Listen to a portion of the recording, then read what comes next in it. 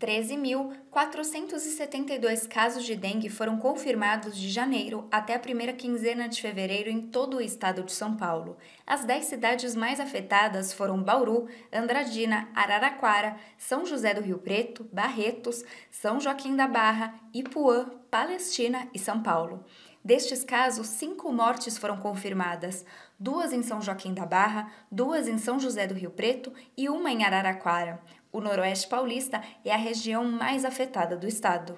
É muito comum naquela região um calor muito intenso nessa época de verão e chuvas também muito intensas. Então, por isso, nesse momento, a gente está tendo um aumento de casos exatamente no Noroeste Paulista. É que no período de chuva os casos de dengue aumentam, por isso a população deve tomar algumas medidas preventivas, já que 80% dos criadouros são encontrados nas residências. Nesse período de chuva, em cinco dias você tem um período de ovo, de pupa e de larva. E você tem aí o mosquito alado, que a gente chama, em todos os locais. Então é muito importante que nesse momento as pessoas se conscientizem ainda mais. Aonde você tem uma condição de ter água parada, você precisa naquele lugar tirar esse possível criadouro. O mosquito Aedes aegypti transmite quatro sorotipos do vírus dengue e atualmente o tipo 2 é o que está circulando em um número maior de municípios. Quando uma pessoa é contaminada por um sorotipo, ela fica imunizada para esse sorotipo mas não para os restantes. E se você tem hoje uma circulação de dengue 2 no estado de São Paulo,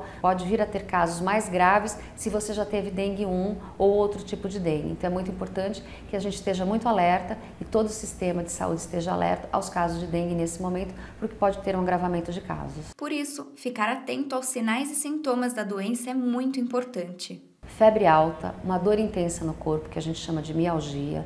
Você pode ter uma dor que as pessoas relatam muitas vezes, que é uma dor atrás dos olhos. É muito difícil para quem tem dengue, às vezes até piscar, mexer os olhos. É muito comum isso acontecer. Você pode ter náuseas, vômitos. Então, esses sintomas eles são os mesmos para os quatro sorotipos de dengue. Laís Peçanha, para a Rede Vida de Televisão.